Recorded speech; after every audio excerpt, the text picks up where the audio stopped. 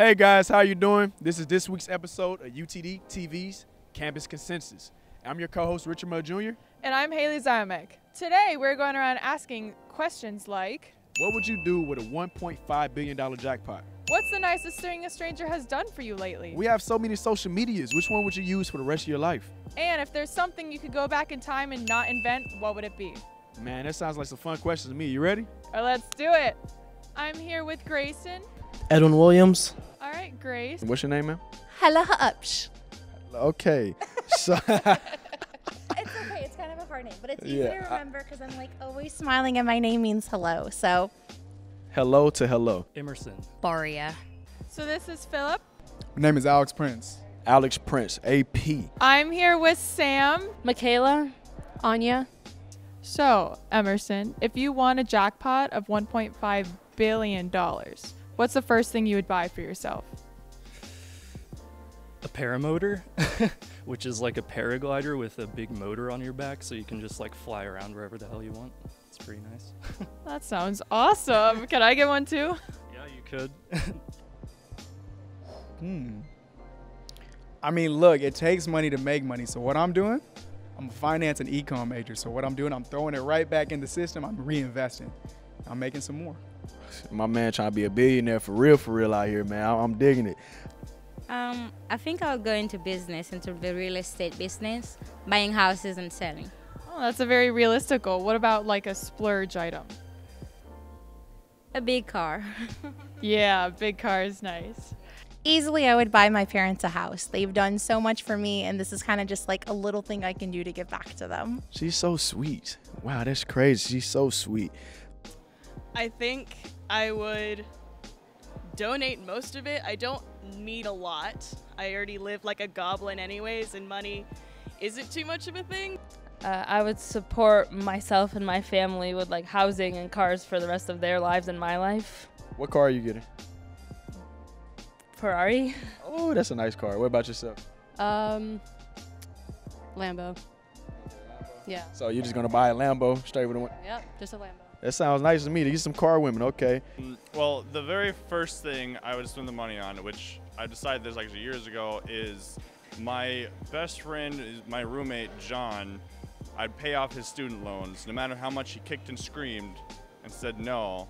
I would pay off his loans That's that's very nice of you. Mm-hmm, because he works really hard, and if anybody deserves money, he does. So, Okay. very I mean, I do other things, but that's the number one thing. If you could only use one social media for the rest of your life, what would that be?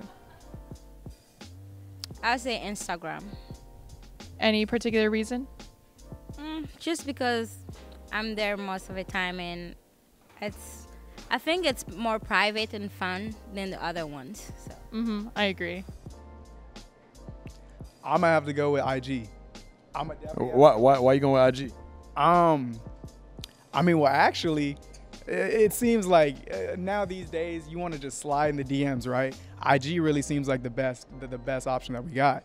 And for those of y'all that don't know, I got a YouTube. It's Alex Prince. Go ahead, check it out. I just made a video sliding in some IG DMs. So Hey, that's a quick plug right there. Alex Prince. What was it again? it's uh, Alex Prince on YouTube. On YouTube. Check him out. Instagram, I guess, And why is that? because it's photo focused. So I think that's like the best form of social media. Do you like taking pictures? Not particularly, but I like looking at them. Snapchat. Instagram. Why Snapchat? Because you can see what everyone's doing while talking to your friends privately. Why Instagram? You can see everyone's posts, see what they're up to. Check in on people. Okay. Probably not even a social media per se. I would just pick Reddit.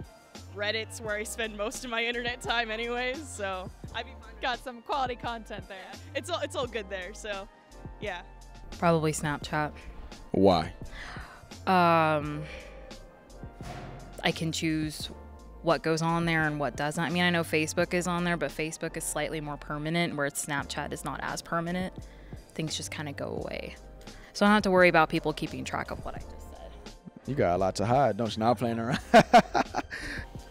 I think it'd be Facebook. It's the most useful as far as getting in touch with people, especially, you know, family and old friends. It's probably one of the oldest that's still in use today, right? Yeah, I mean, I think that keeps it well established, and if you know, if I want to find somebody or get in touch with them, it's really easy as opposed to Instagram, which is mostly for posting pictures of food. food photography. Yeah. I do participate in food photography. Not myself, no. Me neither. I think Twitter. Twitter, you get everything. I believe, uh, depending who you follow, you get either memes and funny stuff like that. Um, and then you also get like political news around the U.S. or just big events around the world, stuff like that. Nice, nice, nice. Uh, probably Reddit, because I don't know if that counts as social media, but that's my. Yeah, I, I think it counts. Yeah, that's the main platform I do things is on Reddit. So. All right. Easily, I would think I would choose YouTube. And I know some people maybe don't count that as like social media, but I think I definitely do because like some of my favorite comedians like Cody Ko and Danny Gonzalez and Drew Gooden, like just randomly giving them shout outs as if they're gonna see this. Like Sponsored. like the funniest people basically. And I feel like I can just get like lost for hours just like watching their videos and watching like either be it like listening to a Disney song or like watching a documentary or just like watching my favorite comedians. I love YouTube as well. That's a great choice. If there was one thing that you could go back and not invent, what would that be? And not invent. Oh man. Yes, just stop from ever coming into existence. Mm. Damn, that's a hard one for me. Like a Furby or jorts. I'm trying to think a bit too complex with this right now. um, jeez. I don't know. Oh gosh. I mean, if I could disinvent anything, I think it would be the app TikTok.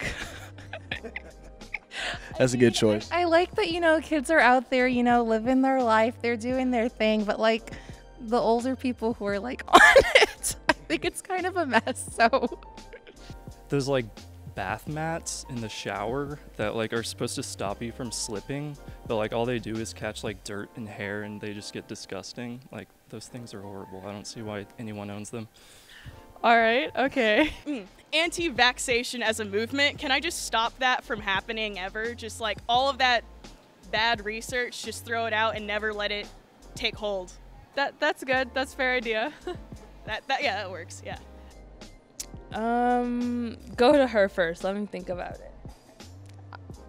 Go to her first. Stop. I'd probably have to pick lobotomy. I always found it particularly disgusting. That is a good point. How do you uh how'd you come across that opinion? Oh, just watching some interesting YouTube videos about, you know, old asylums and things like that. It was one of the available treatments that was particularly terrifying. Gruesome too. I don't like um, chalkboards. I hate chalkboards. I like whiteboards. The noise and stuff like yeah, that. yeah, yeah. Screech on the wall. So you agree? Yeah. Okay, they would get rid of chalkboards. That- That's a good answer. Bomb. A bomb? Yeah, yeah. I will like stop that idea from people. Yeah. That that's a good one. It's it. That's kind of hard. You know, me, I like, I go with the flow of things. So it's like if something was invented, it was made to be invented. You know, there was an issue to be solved. So I feel like if you disinvented something, it would throw everything else out of whack. So, you know, I'm going to just keep it how it is. He gonna keep it how it is, man. He a natural move, you know what I'm saying? He don't want to mess up the universe and everything that's going on. You know, don't make things more complicated than what they already are. What's the nicest thing a stranger has done for you lately?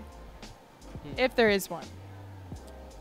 Lately, uh, once I was at work and helping someone with their computer, and they gave me a $20 tip, which is uh, not generally accepted. So, But did you accept that $20 tip? uh, very discreetly. I see. I'm not gonna say this is the nicest because I can't think of it right off bat.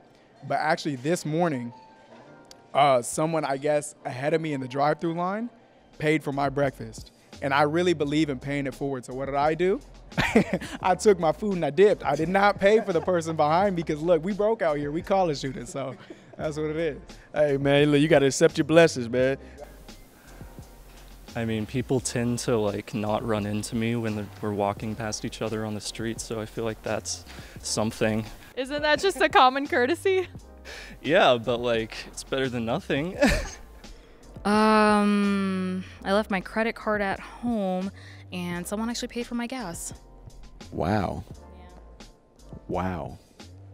It was like ten bucks, but it got me. It got me back home so I could get my credit card. But yeah, they're like, "Yeah, I'll pay for your gas." I'm like, "Oh my gosh, thank you." That's nice. Whoever that person is, shout out to you, man. Keep doing what you're doing. Um, I was standing in line, order, waiting to order food, and they paid for it when they were behind me. Did you do the same favor for the person behind you? No, All right, I was about- so in shock. I wasn't thinking about it. I feel that. What about you? My parents bought me stuff. My parents bought me stuff too. I love you, parents. You know what I'm saying? It's all good. Ah, I love that question because I feel like we should always be kind to each other, even if it's not. Um, I was having a particularly bad day just because, like, it was a lot of exams. It was super stressful. And I was walking, and, like, I guess, like, this one person like saw that I was like kind of upset or I was visibly upset. So like this person I don't even know, she comes up to me. She's like, "Hey, I know I like don't know you at all, but like, do you want to like talk about anything because you look like you're stressed out?" So we ended up talking for like 20 minutes and it was just like I let my feelings out and then I like exchanged numbers with her after that. So What's her name? friends right now, Yelda. Yelda, you're a great person. Keep doing what you're doing. All right, Richard, what did you learn today? Well, I learned with 1.5 billion dollars, a lot of people want to buy cars, Yeah. Lambos, houses. what about Royce. you? Rolls. Oh, Rick Yeah. Ross. He the bought. No, I'm playing. A lot of people like Instagram Instagram and Snapchat for the top pictures. two. Yeah. Instagram and Snapchat. And strangers haven't really done much for our, our students lately. That is very true. And some people even call their parents a stranger. Very interesting. we got some interesting uh, choices for inventions. A lot of my people did not want to throw off the balance of the universe. They wanted to preserve the universe. Oh. Yeah, oh. so very interesting. Thanks for watching this week on Campus Consensus. We are here every other Tuesday at 2:20 p.m. in the SU and around all the campus. Come out if you want to be featured on Campus Consensus. All right, thank you guys. Tune in next week.